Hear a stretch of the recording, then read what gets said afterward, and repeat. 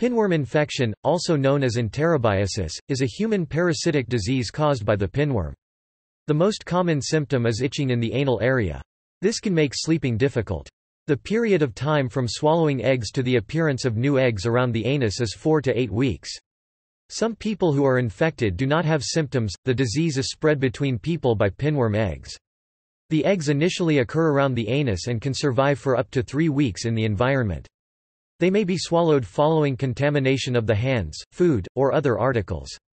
Those at risk are those who go to school, live in a health care institution or prison, or take care of people who are infected. Other animals do not spread the disease.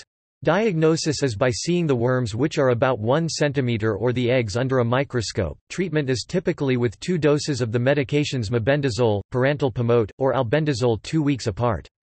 Everyone who lives with or takes care of an infected person should be treated at the same time.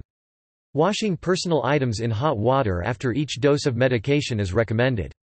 Good handwashing, daily bathing in the morning, and daily changing of underwear can help prevent reinfection. Pinworm infections commonly occur in all parts of the world. It is the most common worm infection in the developed world. School-aged children are the most commonly infected. In the United States about 20% of people at one point in time develop pinworm. Infection rates among high-risk groups may be as high as 50%. It is not considered a serious disease. Pinworms are believed to have affected humans throughout history. Topic signs and symptoms One-third of individuals with pinworm infection are totally asymptomatic. The main symptoms are pruritus ani and perineal pruritus, i.e., itching in and around the anus and around the perineum. The itching occurs mainly during the night, and is caused by the female pinworms migrating to lay eggs around the anus. Both the migrating females and the clumps of eggs are irritating, but the mechanisms causing the intense pruritus have not been explained. The intensity of the itching varies, and it can be described as tickling, crawling sensations, or even acute pain. The itching leads to continuously scratching the area around the anus, which can further result in tearing of the skin and complications such as secondary bacterial infections, including bacterial dermatitis i.e., skin inflammation and folliculitis i.e., hair follicle inflammation. General symptoms are insomnia i.e., persistent difficulties to sleep and restlessness. A considerable proportion of children suffer from loss of appetite, weight loss, irritability, emotional instability, and enuresis i.e., inability to control urination. Pinworms cannot damage the skin, and they do not normally migrate through tissues. However, in women they may move onto the vulva and into the vagina, from there moving to the external orifice of the uterus, and onwards to the uterine cavity, fallopian tubes, ovaries, and peritoneal cavity. This can cause vulvovaginitis, i.e. an inflammation of the vulva and vagina. This causes vaginal discharge and pruritus vulvae, i.e., itchiness of the vulva. The pinworms can also enter the urethra, and presumably, they carry intestinal bacteria with them. According to Gutierrez 2000, a statistically significant correlation between pinworm infection and urinary tract infections has been shown, however, Burkhardt and Burkhardt 2005 maintain that the incidence of pinworms as a cause of urinary tract infections remains unknown. Incidentally, one report indicated that 36% of young girls with a urinary tract infection also had pinworms. Dysuria i.e., painful urination has been associated with pinworm infection. The relationship between pinworm infestation and appendicitis has been researched, but there is a lack of clear consensus on the matter. While Gutierrez 2005 maintains that there exists a consensus that pinworms do not produce the inflammatory reaction, Cook 1994 states that it is controversial whether pinworms are causatively related to acute appendicitis, and Burkhardt and Burkhardt 2004 state that pinworm infection causes symptoms of appendicitis appendicitis to surface. Topic cause The cause of a pinworm infection is the worm Enterobius vermicularis. The entire life cycle, from egg to adult, takes place in the human gastrointestinal tract of a single human host. Cook et al. 2009 and Burkhardt and Burkhardt 2005 disagree over the length of this process, with Cook et al. stating 2 to 4 weeks, while Burkhardt and Burkhardt states that it takes from 4 to 8 weeks.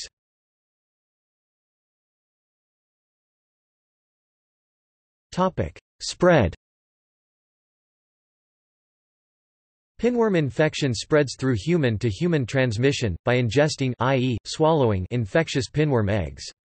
The eggs are hardy and can remain viable i.e., infectious in a moist environment for up to three weeks, though in a warm dry environment they usually last only one to two days. They do not tolerate heat well, but can survive in low temperatures. At minus 8 degrees Celsius (18 degrees Fahrenheit), two-thirds of the eggs are still viable after 18 hours. After the eggs have been initially deposited near the anus, they are readily transmitted to other surfaces through contamination. The surface of the eggs is sticky when laid, and the eggs are readily transmitted from their initial deposit near the anus to fingernails, hands, night clothing and bed linen. From here, eggs are further transmitted to food, water, furniture, toys, bathroom fixtures and other objects. Household pets often carry the eggs in their fur, while not actually being infected. Dust containing eggs can become airborne and widely dispersed when dislodged from surfaces, for instance when shaking out bed clothes and linen. Consequently, the eggs can enter the mouth and nose through inhalation, and be swallowed later. Although pinworms do not strictly multiply inside the body of their human host, some of the pinworm larvae may hatch on the anal mucosa, and migrate up the bowel and back into the gastrointestinal tract of the original host. This process is called retroinfection. According to Burkhardt 2005, when this retroinfection occurs, it leads to a heavy parasitic load and ensures that the pinworm infestation continues. This statement is contradictory to a statement by Caldwell, who contends that retroinfection is rare and not clinically significant. Despite the limited, 13-week lifespan of individual pinworms, autoinfection i.e., infection from the original host to itself, either through the anus-to-mouth route or through retroinfection, causes the pinworms to inhabit the same host indefinitely.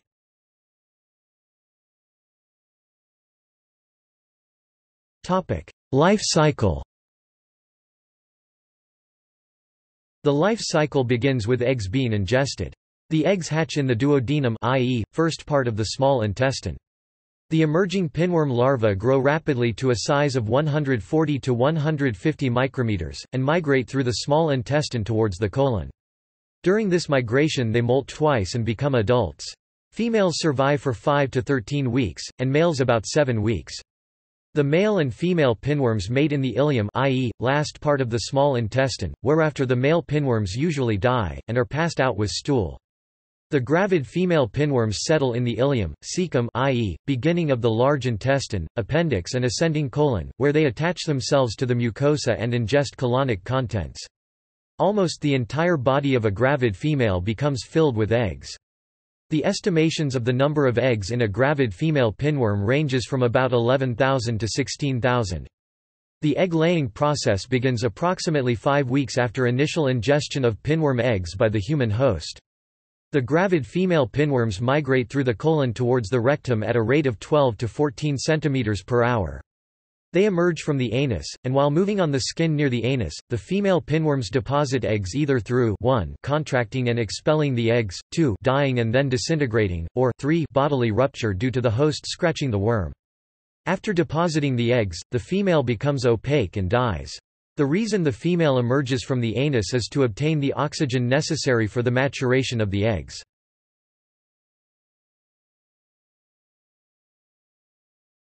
Topic: Diagnosis Diagnosis depends on finding the eggs or the adult pinworms. Individual eggs are invisible to the naked eye, but they can be seen using a low-power microscope. On the other hand, the light yellowish thread-like adult pinworms are clearly visually detectable, usually during the night when they move near the anus, or on toilet paper. Transparent adhesive tape e.g. scotch tape applied on the anal area will pick up deposited eggs, and diagnosis can be made by examining the tape with a microscope. This test is most successful if done every morning for several days, because the females do not lay eggs every day, and the number of eggs vary. Pinworms do not lay eggs in the feces, but sometimes eggs are deposited in the intestine. As such, routine examination of fecal material gives a positive diagnosis in only 5 to 15% of infected subjects, and is therefore of little practical diagnostic use. In a heavy infection, female pinworms may adhere to stools that pass out through the anus, and they may thus be detected on the surface on the stool. Adult pinworms are occasionally seen during colonoscopy. On a microscopic level, pinworms have an identifying feature of alae i.e., protruding ridges running the length of the worm.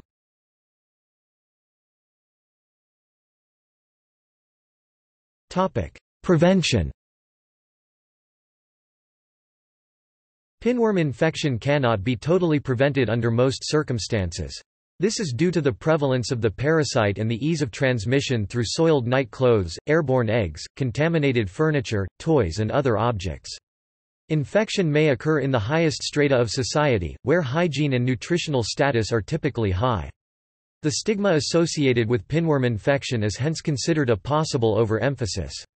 Counseling is sometimes needed for upset parents that have discovered their children are infected, as they may not realize how prevalent the infection is. Preventative action revolves around personal hygiene and the cleanliness of the living quarters.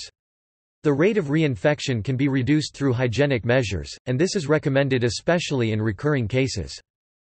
The main measures are keeping fingernails short, and washing and scrubbing hands and fingers carefully, especially after defecation and before meals. Under ideal conditions, bed covers, sleeping garments, and hand towels should be changed daily. Simple laundering of clothes and linen disinfects them. Children should wear gloves while asleep, and the bedroom floor should be kept clean. Food should be covered to limit contamination with dust-borne parasite eggs. Household detergents have little effect on the viability of pinworm eggs, and cleaning the bathroom with a damp cloth moistened with an antibacterial agent or bleach will merely spread the still viable eggs. Similarly, shaking clothes and bed linen will detach and spread the eggs.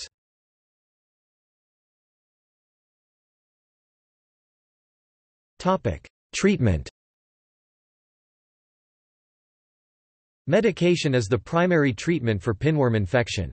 They are so effective that many medical scientists regard hygienic measures as impractical. However, reinfection is frequent regardless of the medication used. Total elimination of the parasite in a household may require repeated doses of medication for up to a year or more. Because the drugs kill the adult pinworms, but not the eggs, the first retreatment is recommended in two weeks. Also, if one household member spreads the eggs to another, it will be a matter of two or three weeks before those eggs become adult worms and thus amenable to treatment. Asymptomatic infections, often in small children, can serve as reservoirs of infection, and therefore the entire household should be treated regardless of whether or not symptoms are present. The benzimidazole compounds albendazole, brand names e.g., Albenza, Eskazole, Zentel and Andazol, and mebendazole, brand names e.g., Ovex, Vermox, Antiox and Pripsen, are the most effective. They work by inhibiting the microtubule function in the pinworm adults, causing glycogen depletion, thereby effectively starving the parasite. A single 100 mg dose of mebendazole with one repetition after a week, is considered the safest, and is usually effective with cure rate of 96%. Mebendazole has no serious side effects, although abdominal pain and diarrhea have been reported. Pyrantel pamoate also called pyrantel embonate, brand names e.g., Reese's Pinworm Medicine, Pin-X, Combantrin, Anthel, Helmintox, and Helmex kills adult pinworms through neuromuscular blockade, and is considered as effective as the benzimidazole compounds and is used as a second-line medication. Other medications are piperazine, which causes flaccid paralysis in the adult pinworms, and pyrvinium pamoate also called pyrvinium embonate, which works by inhibiting oxygen uptake of the adult pinworms. Pinworms located in the genitourinary system in this case, female genital area may require other drug treatments.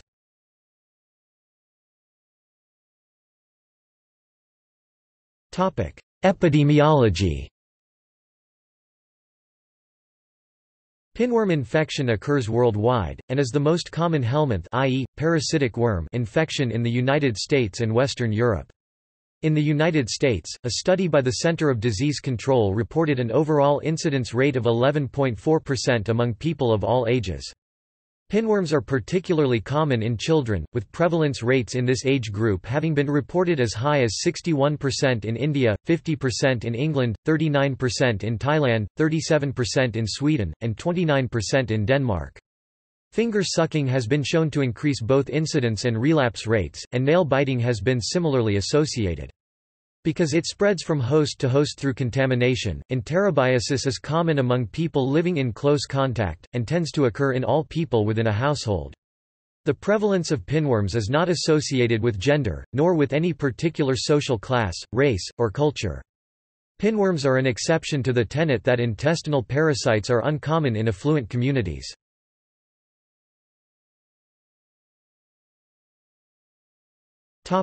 History The earliest known instance of pinworms is evidenced by pinworm eggs found in coprolite, carbon dated to 7837 BC at western Utah. Pinworm infection is not classified as a neglected tropical disease unlike many other parasitic worm infections. Garlic has been used as a treatment in the ancient cultures of China, India, Egypt, and Greece. Hippocrates 459 370 BC mentioned garlic as a remedy against intestinal parasites. German botanist Lonicerus 1564 recommended garlic against parasitic worms. Applying raw garlic on skin may cause a chemical burn. Notes